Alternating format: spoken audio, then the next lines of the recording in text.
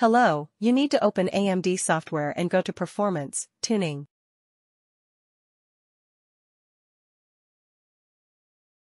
Then you will select Custom.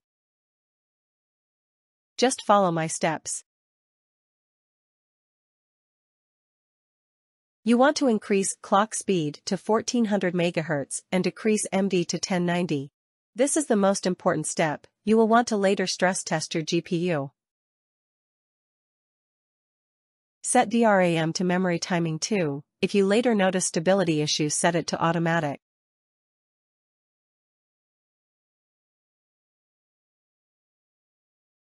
For power tuning, set it to maximum. It allows the GPU to draw however much power it needs.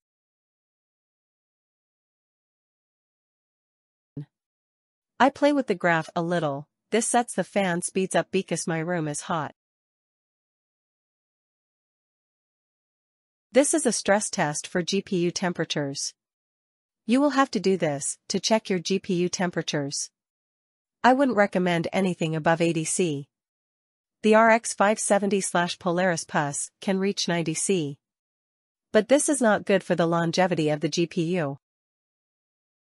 In my case, the temperature is around 75 C.